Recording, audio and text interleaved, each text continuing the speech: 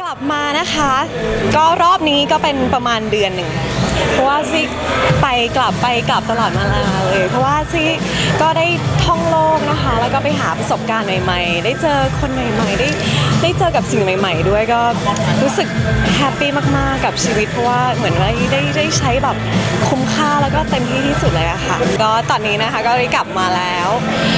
ก็ได้คุยกับพี่หน่องไว้บ้างแล้วนะคะพอสมควรเรื่องละครแล้วตอนแรกก็จะมีถ่ายเป็นละคร period บุพเพ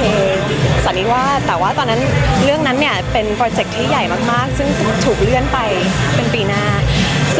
ก็จะมีละครที่พี่หน่องวางไว้นะคะ เป็นละครแนวบู๊ comedy ซึ่งน่าจะเริ่มถ่ายประมาณเดือนตุลานี้ค่ะ ก็ยังไงซิก็ขอฝากผลงานละครที่จะถึงนี้นะคะ แล้วก็อาจจะมีแบบพวก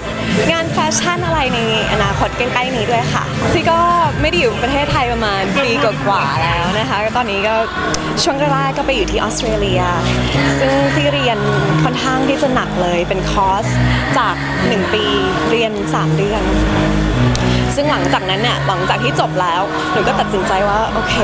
เราอยู่ประเทศออสเตรเลียไม่ค่อยได้เพราะว่าเราแพ้หลาย ๆ อย่างที่นั่น เราก็เลยตัดสินใจว่าโอเคงั้นเดี๋ยวเราไปท่องโลกแล้วกันหาประสบการณ์ให้ตัวเอง แล้วก็หลังจากนั้นก็คือแบบท่องโลกกลับมาประเทศไทยมาอยู่กับคุณแม่ช่วยงานที่ที่บริษัทที่เชียงใหม่ แล้วก็ไปท่องอีกแล้วก็กลับมาช่วยช่วย บ้างใช่ไหมโอ้โห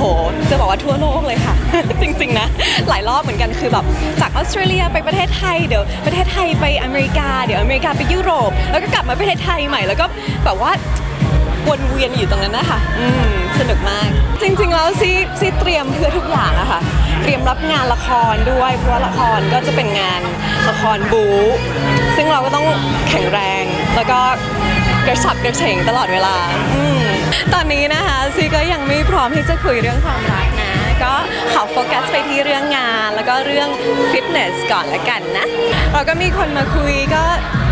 ไม่ปิดที่จะมาพิจารณาเป็นเพื่อนหรือว่าเป็นคนรู้จักค่ะ